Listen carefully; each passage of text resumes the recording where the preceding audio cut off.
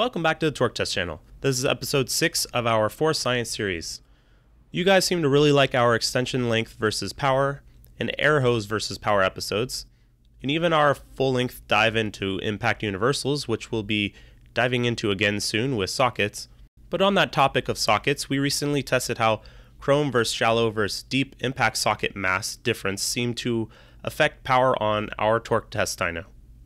We theorized, and the results seem to agree that within this already quite large socket size and mass of 1.5 inches or 38 millimeter socket size, we may already be up against a diminishing returns sort of ceiling if there is something to be said about socket mass and socket design when it comes to impact torque transfer. Today, I feel like we were finally able to answer that question and about special weighted sockets on air and cordless impacts to boot with these sockets shown here.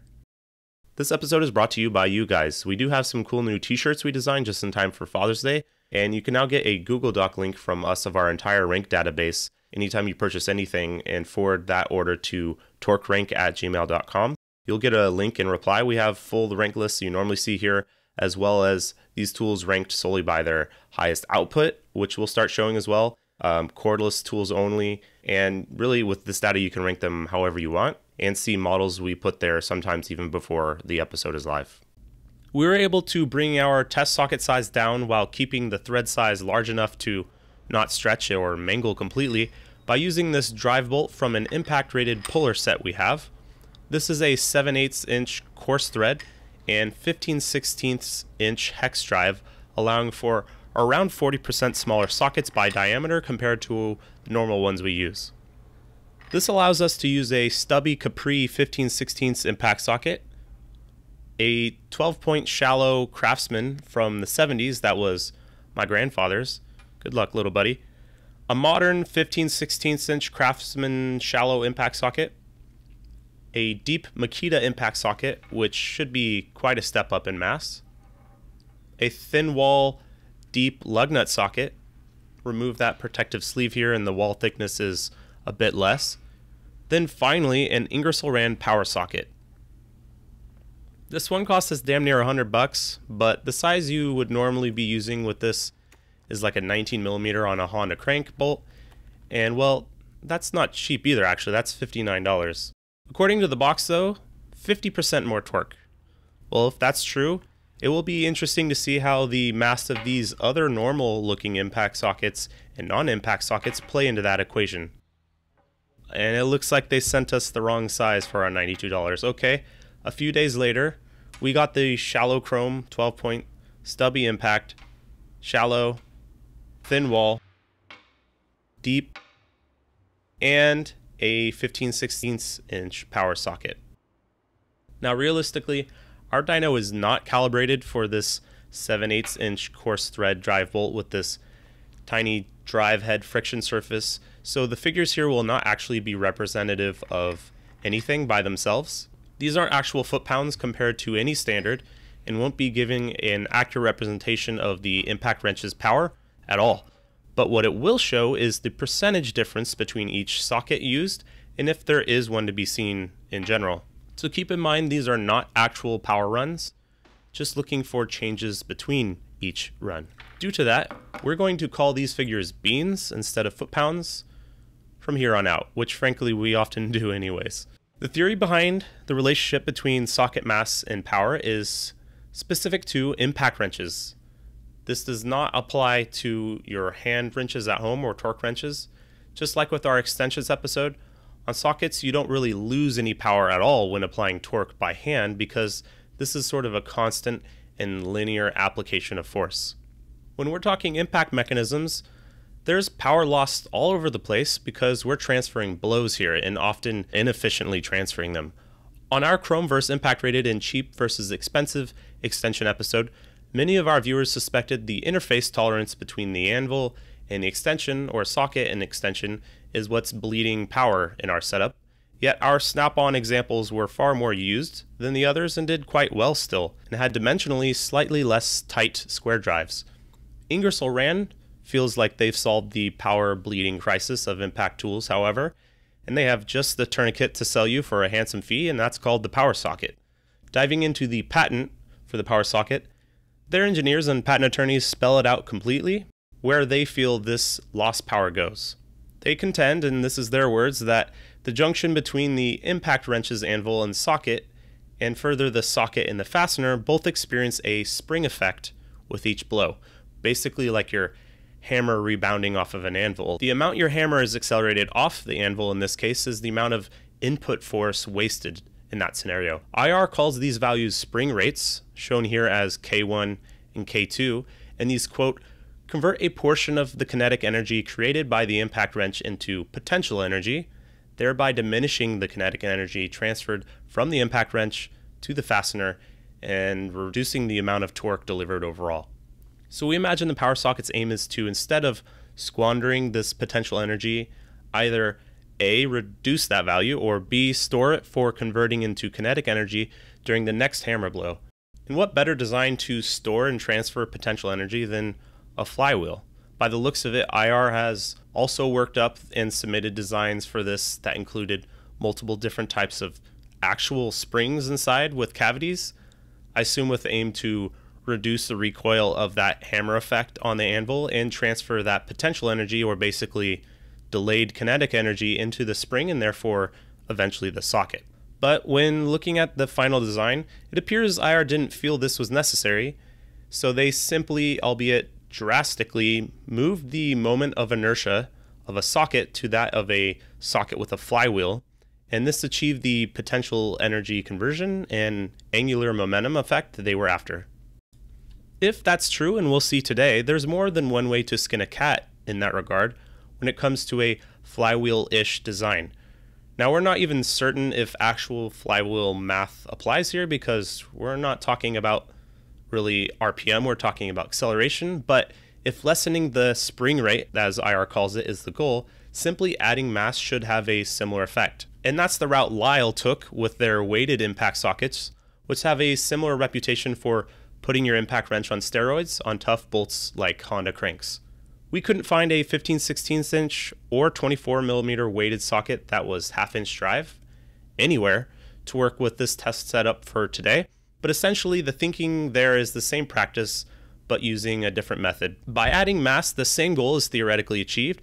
It's just that adding diameter gets there sooner and with less mass and material needed overall. And it looks like IR did get rid of the opening pass throughs, the sort of windows here that were used in the original design and pictures, as it was probably more expensive to make it that way, and really you're just removing some of that useful mass, anyways. But that's enough mathematical mumbo jumbo for today. As we like to say on this channel, we don't always have to understand the principles at work. We did all of our thinking when we created this dyno rig, and now it does the thinking for us. So let's see once and for all if socket type and socket mass affect power in a significant way. Up first is our baseline run.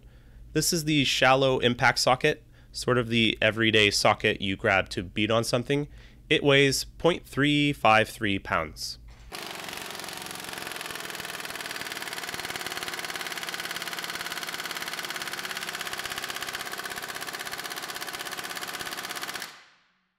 So that's 422 beans. As a reminder, this impact wrench usually makes 600 foot-pounds on our dyno. Let's go down in mass now. Here's the stubby impact socket, which is actually the lightest of the bunch at 0.227 pounds.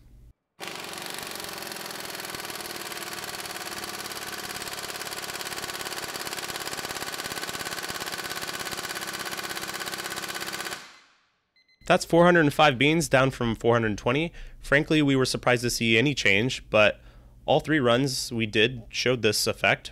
But 3.5% at the end of the day, not notable or even something we'd call proof of a theory. Let's see how the slightly heavier but thinner wall 12 point chrome does, or really if it even survives. And that face shield going right on.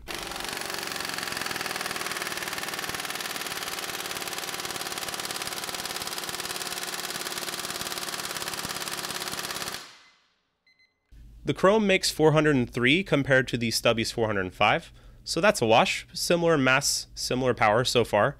Let's see if that holds true as we pack on the weight with this deep Makita impact socket.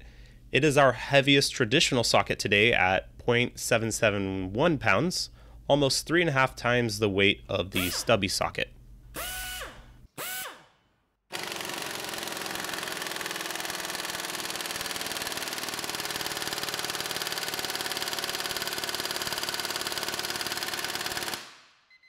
That's 437 beans versus the 422 of our baseline and the 405 of the stubby. That's that same 3.5% again, only this time on top of the baseline, for a total of a 7% spread across socket types. We did notice with a longer socket you get quite a bit more jumbling around on the impact tool. It's sort of interesting and harder to keep it aligned and planted from rattling around. Next up is a different version of a deep impact socket with a slightly thinner wall, although this one weighed 0.74 pounds, so only slightly less than that Makita Deep.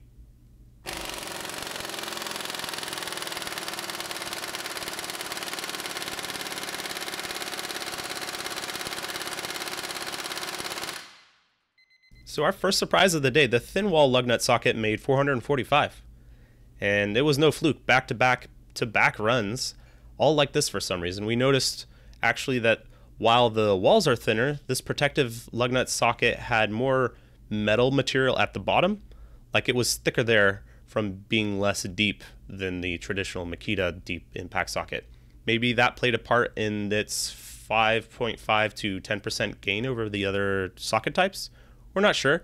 Then again, we're not talking night and day power differences here either. If we're after night and day power differences, this is the socket we're grabbing. So let's find out. Do we get $100 worth of extra beans for our Benjamin? Here's the Ingersoll Rand power socket.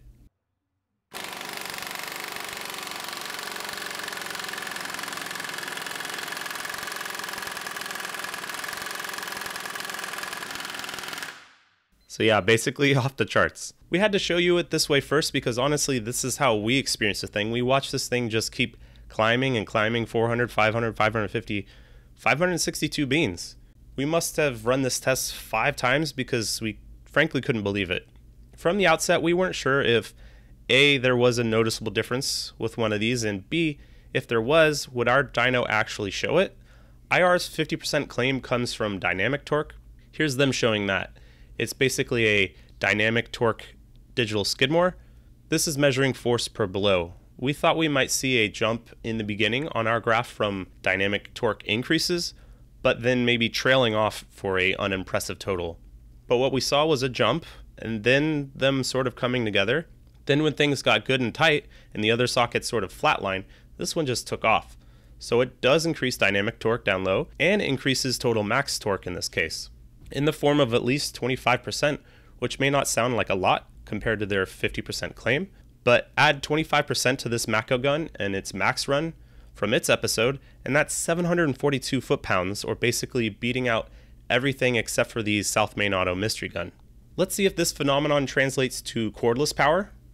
Here's the M18 Gen 2 baseline run. Remember, these are beans and have nothing to do with the M18's actual power capability, which, as we know, is quite high.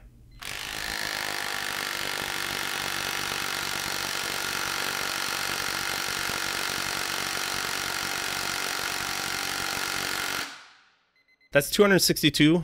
Not really winning any prizes with those flashy numbers, but does make sense as it's around the same percentage down from the Mako gun as their original max torque runs from their episodes. Now here's the weighted socket from IR.